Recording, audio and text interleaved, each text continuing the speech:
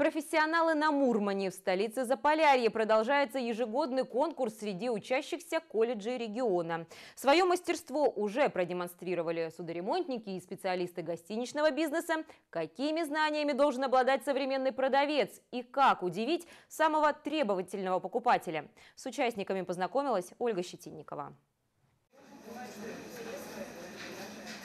11 конкурсантов из семи колледжей Заполярья в трех этапах конкурса демонстрировали строгому жюри знание продукции, умение работать с кассовым аппаратом, общаться с покупателями.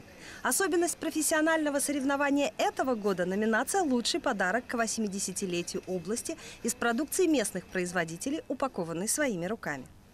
У нас есть домашнее задание, это упаковка подарка. То есть у нас подарок это будет печень трески, и упаковка, эксклюзивная упаковка, сделана своими руками. Несколько ночей не спали, сделали очень интересную, как папье-маши, рыбу. Подарочную. Всем понравится, будет интересно. Важное условие – уметь не только продать товар, о котором конкурсант должен знать, не только срок годности, калорийность, но и выгодно представить самого себя как специалиста. Важны также грамотная речь, стрессоустойчивость, опрятный внешний вид. Вопросы жюри порой самые неожиданные. Участников могут спросить обо всем, начиная от энергетической ценности и составе продуктов, заканчивая качеством упаковки. Мы ежегодно поддерживаем конкурс «Профессионалы на Мурмане» в номинации «Продавец-кассир». Проводим его обычно здесь, вот на базе кафе, в нашем супермаркете. А, ежегодно придумываем различные конкурсы. В этом году акцент сделали на то, что продавец должен уметь продать не только свой товар, но и продать себя.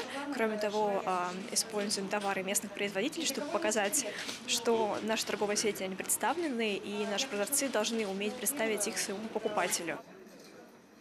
По оценкам жюри, уровень подготовки конкурсантов в этом году заметно вырос. Победителем этого года стала Анастасия Алексеева, учащаяся Оленегорского горно-промышленного колледжа.